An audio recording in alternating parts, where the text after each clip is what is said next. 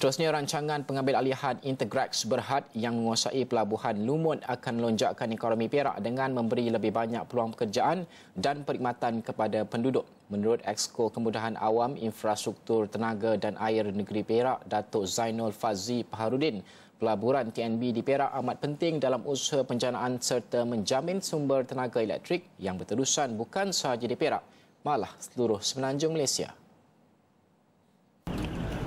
Zainul kata pada masa sama, ia turut menambah peluang pekerjaan dan ekonomi kepada rakyat dan negeri. Namun ia bergantung jika diluluskan oleh pemegang saham. Katanya, sejak TNB bertapak di Manjung pada tahun 2003, khususnya di TNB Jana Manjung, pelaburan mereka bagi tiga jana kuasa sahaja mencecah 6.8 bilion ringgit yang turut menyediakan peluang pekerjaan dan perniagaan sehingga ke hari ini. Hampir seribu peluang pekerjaan disediakan untuk tiga jana kuasa yang beroperasi sekarang.